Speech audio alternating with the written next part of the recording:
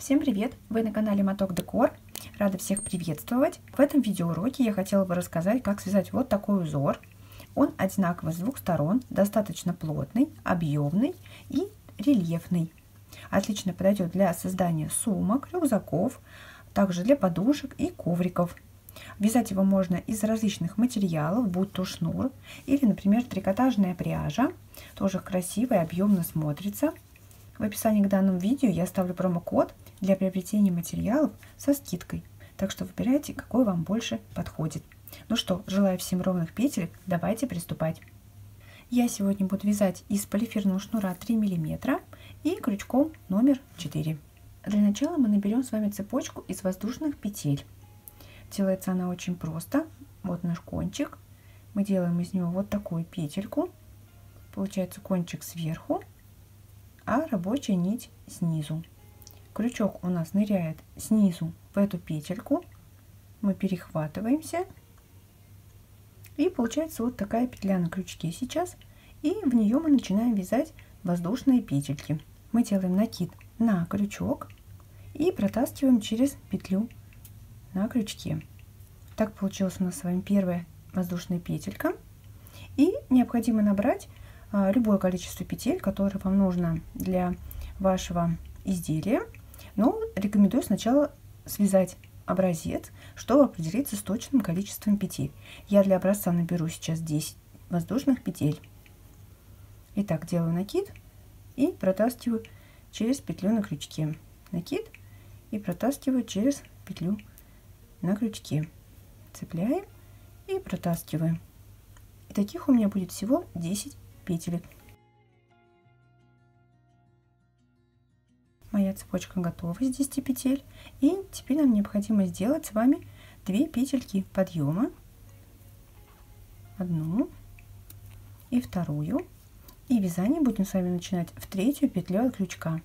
Вот первая, вторая, третья. В нее будем нырять крючком. А если вы знаете, что ваше изделие например, это будет клапан для сумки или, например, сама сумка, и это будет именно крышка, где будет закрываться и крепиться замок, то можно первый ряд связать обычными столбиками без накида, провязав каждую петельку, а в следующем ряду уже начать узор. Это для того, чтобы сюда было легко прикрепить замок. Пряжи будет не так много или шнура, и, соответственно, замок сюда легко прикрепится. Итак, я сейчас буду вязать сразу уже узор. Получается, мы с вами ныряем крючком в третью петлю от крючка. Раз, два, три. Делаем с вами накид. Ныряем в петельку, прям за дальнюю дужку, которая у нас идет у косички. Вытягиваем ниточку. Далее мы делаем заново накид.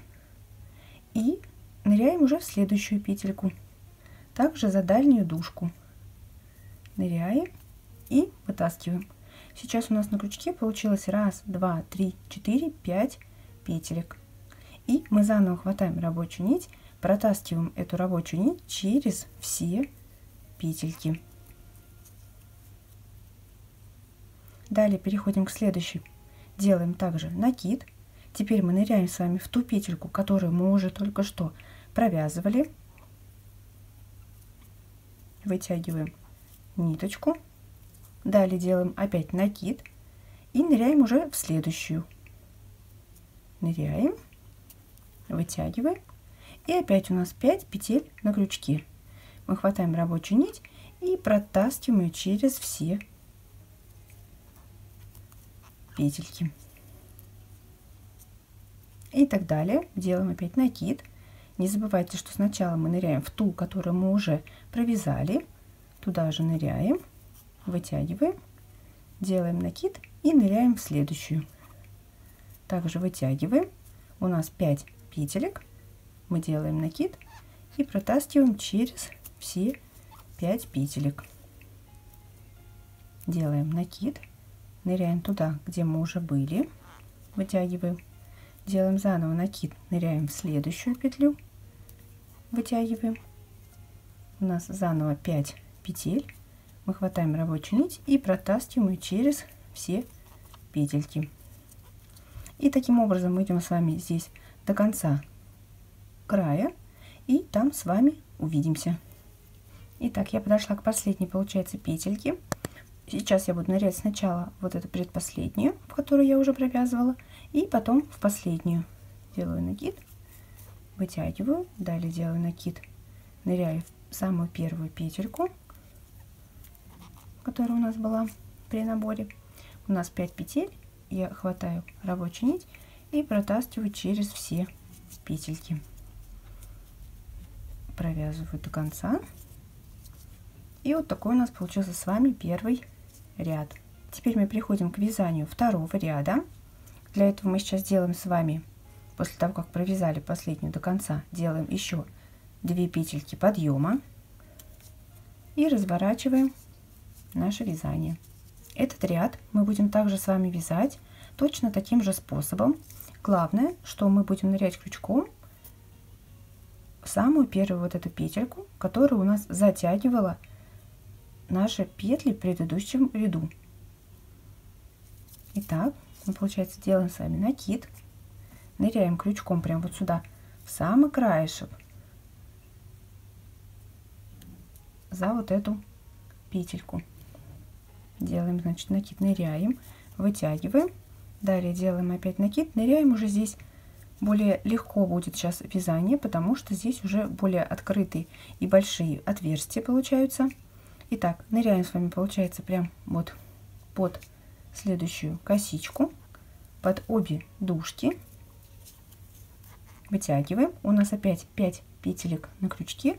Мы с вами хватаем рабочую нить и протаскиваем через все 5 петелек. А не забывайте провязывать именно с этого края, для того, чтобы наше полотно было ровное по этой стороне и по этой стороне. Итак, мы провязали с вами, получается, первый. Дальше делаем накид. Опять не забывайте, ныряем туда же, где мы уже с вами провязывали. Вытягиваем. Далее делаем накид, ныряем в следующую. Вытягиваем. У нас опять 5 петелек. Мы хватаем рабочую нить и протаскиваем ее через все петли. Далее опять накид. Возвращаемся туда, где уже были. Вытягиваем. Делаем накид новую петлю у нас 5 петель хватаем рабочую нить и протаскиваем накид ныряем туда где были вытягиваем накид в новую петельку за обе дужки косичек вытягиваем и 5 петель провязываем новой рабочей нитью и так мы идем с вами до конца и здесь с вами увидимся Итак, я подошла практически к концу. Вот у нас здесь остается последняя петелька, в которой мы уже были. И еще мы будем нырять с вами за вот эти петли, которые у нас были петельками подъема. То есть мы делаем накид, ныряем сюда, где мы уже были. Вытягиваем. Теперь делаем накид и ныряем под петельки подъема. Вот так крючком. Вытягиваем рабочую нить. У нас 5 петель. И мы протаскиваем рабочей нитью все эти петельки. Теперь мы это завершаем. Вот так у нас получился с вами второй ряд. Не забывайте провязывать этот край и этот край, чтобы у вас полотно не пошло на сужение, то есть не теряйте все столбики. Итак, сейчас мы переходим к вязанию следующего ряда. Он будет также повторяться, как и эти предыдущие. Мы делаем с вами 2 петельки подъема. Разворачиваем полотно и приступаем к вязанию. Не забывайте провязывать в каждом ряду самую крайнюю петлю. То есть ряд начинается именно с провязывания вот этой крайней петли. То есть у нас сюда уходит прям вот петли предыдущего ряда, как бы наверх сюда, в эту дырочку. Итак, мы делаем с вами накид, ныряем в нее, вытягиваем, далее делаем накид и ныряем под следующую петлю, то есть под лежачую косичку, которая у нас идет. Также вытягиваем, у нас 5 петелек на крючке, и мы рабочей нитью все эти 5 петелек провязываем. Итак, вот видно, что полотно у нас идет ровно край, то есть он никуда у нас не сужается. И таким образом мы провязываем с вами нужное количество вам рядов и нужный вам размер полотна. Итак, я вот подошла, получается, к концу этого ряда. И сейчас еще раз вам покажу, как в конце здесь не пропустить и не упустить наш последний столбик. Итак, мы делаем накид, ныряем, получается, туда, где мы уже были. Вытягиваем ниточку, далее делаем накид и ныряем под вот эти петельки подъема. Они такие выглядят прям немножко по-другому, в отличие от всех этих столбиков. То есть мы делаем накид и прям легко ныряем вот так крючком под эти петельки подъема. У нас 5 петель на крючке. Мы хватаем рабочую нить и провязываем до конца.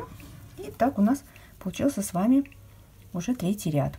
И так далее вяжите самостоятельно. Старайтесь вот эти косички делать не очень длинными, то есть и не сильно затягивать, чтобы полотно не скруглялось и не сжималось, но при этом, чтобы они были не очень большие, чтобы избежать таких приличных отверстий. То есть они будут получаться именно за счет ваших косичек. Вот такой узор у меня сегодня получился. Надеюсь, у вас тоже все получилось. Но если вдруг остались какие-то вопросы, обязательно пишите в комментариях, всем все подскажу. А также делитесь своими результатами в разных соцсетях. Мне будет очень приятно. Если данный видеоурок был для вас полезным, обязательно ставьте лайки, не забывайте подписываться на мой канал и, конечно, нажимайте на колокольчик, чтобы не пропускать мои новые видеоуроки. А на этом все и пока-пока!